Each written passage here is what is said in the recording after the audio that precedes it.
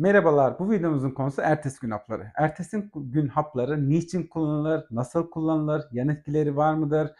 Kullandıktan sonra adet kanamasının olması normal midir? Kanamanın olmadığı durumlarda neler önemlidir?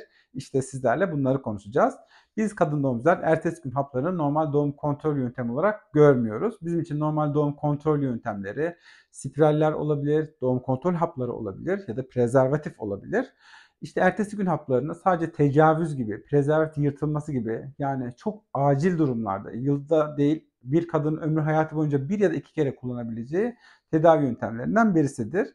Her ne kadar 72 saat içerisinde, ilişkiden 72 saat içerisinde kullanılması önerilse de biz ilk 24 saat içerisinde ilişkiden kullanılmasını tavsiye ediyoruz.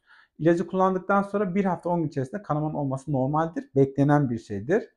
Aksi halde kanamanın olmaması durumunda biz gebelikten şüpheleriniz, gebelik riski vardır. Mutlaka gebelik testi yaparak durumu teyit etmenizde fayda var. Peki ne gibi yan etkileri vardır? Kadınlarda hormonlar üzerinde ciddi yan etkilere yol açabilir.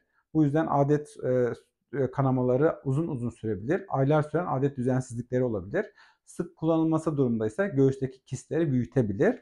Aynı zamanda kadınlarda psikolojik sorunlara ve kilo artışına da yol açabilmektedir. Bunun daha da kötüsü, e, e kötüsü eğer e, hapı kullanırken hamile kalırsanız da bebek üzerine çok ciddi olumsuz yan etkileri vardır. O yüzden mümkün olduğunca ertesi gün haplarını e, kullanmayı tercih etmeyiniz. Prezervatif gibi, e, spiral gibi ya da normal doğum kontrol haplarını e, tercih etmenizi tavsiye ederim. Sağlıklı mutlu günler diliyorum.